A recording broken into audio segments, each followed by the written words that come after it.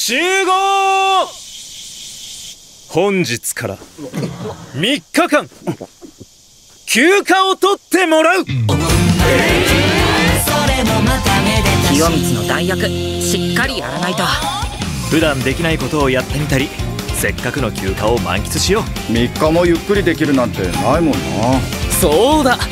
みんなで主のためにアルバムってのを作るのはどうだ？明日も元気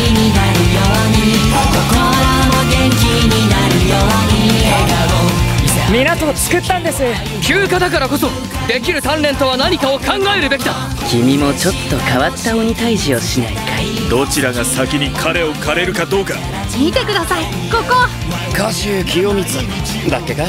早く会ってみたいんだ強くなって帰ってくるって約束したから。